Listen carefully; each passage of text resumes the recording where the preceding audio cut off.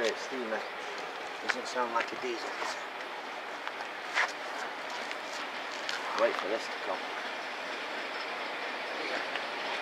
Can you hear it? Look at this.